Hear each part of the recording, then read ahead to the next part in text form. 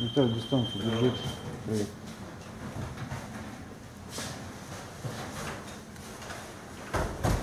Владимир Ибрагимович, как ваше здоровье?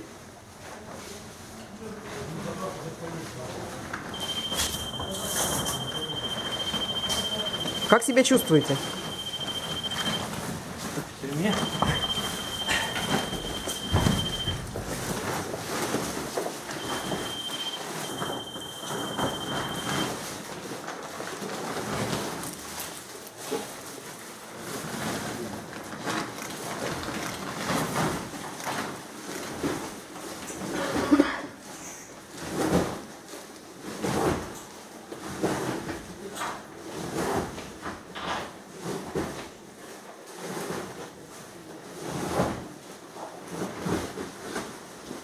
Gracias.